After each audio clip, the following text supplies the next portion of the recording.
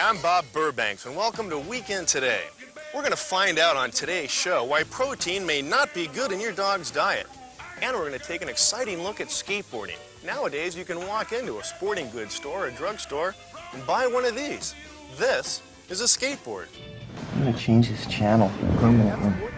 so far. You know, when I was a kid, we used to take Now they're on a two by four. But today we're going to show you Now, this is a skateboard. Run!